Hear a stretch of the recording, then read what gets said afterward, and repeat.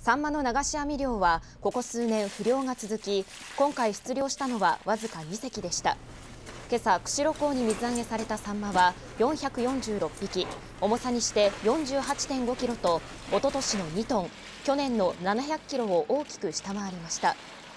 釧路市内の市場では午前7時からの初競りが行われましたが今年から公開サンマ漁が解禁され5月下旬から生サンマが市場に出回ったため最高値は1キロあたり1万9500円と過去最高を記録した去年の3万3000円には遠く及びませんでした。